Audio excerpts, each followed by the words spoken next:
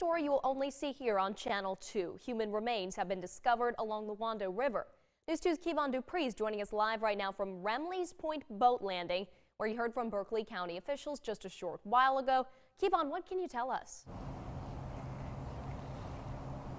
Hannah, officials say a boater found those remains last night while on the Wando River, just past the Mark Clark Expressway Bridge.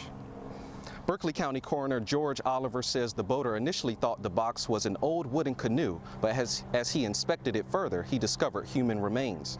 The boater contacted the South Carolina Department of Natural Resources, who then contacted the Berkeley County Coroner's Office. This afternoon, the Berkeley County Sheriff's Office Marine Patrol Unit, along with the coroner and SCDNR, visited the location to investigate further.